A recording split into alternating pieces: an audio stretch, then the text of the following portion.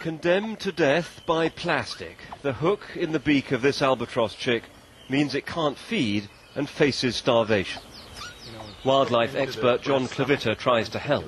Plastic is emerging as a real danger. You want me just to... And hold the wings like that? Yeah. Uh-huh. I'm going to simply... And this is squid juice. This is normal. The mother stays close by. Any idea yet what it might be?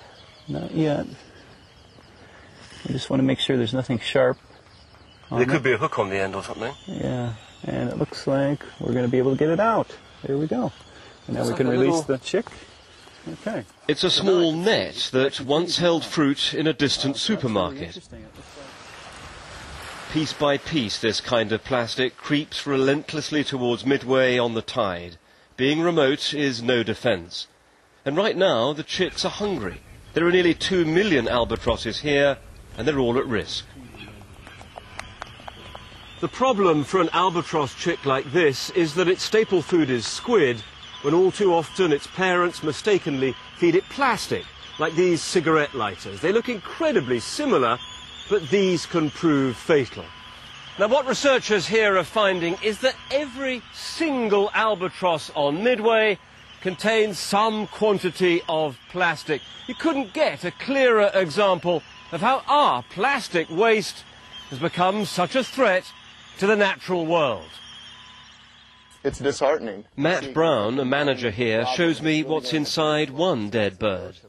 As you poke around inside what was the gut, you find a bit of a toothbrush, a toothbrush by the looks of it. uh, some fishing line, a bottle cap, And this plastic scourge is getting worse because the great currents of the Pacific Ocean are accumulating plastic and Midway lies right in their path.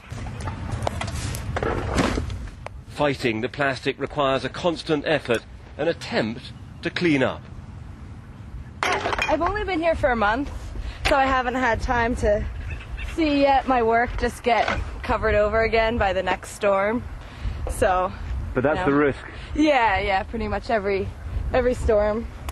Do people just throw it because they don't care about it, or does it is it part of a major dumping operation?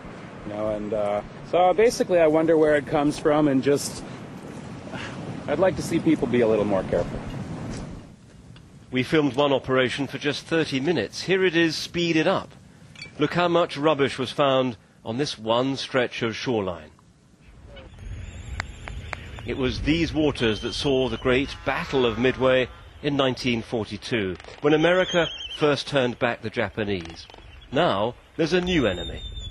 If today the world stopped um, letting plastics reach the marine ecosystems, still for generations this is going to wash up on our beaches. The oceans are filled with this stuff. And the fact that more and more is being deposited uh, into the oceans, just the problem is, is growing, not shrinking. And we're only beginning to fully understand the implications of this on the oceans. The albatrosses have survived here for thousands of years, but researchers fear that plastics, only with us for 50 years, could threaten their very existence. David Shukman, BBC News, on Midway in the Pacific.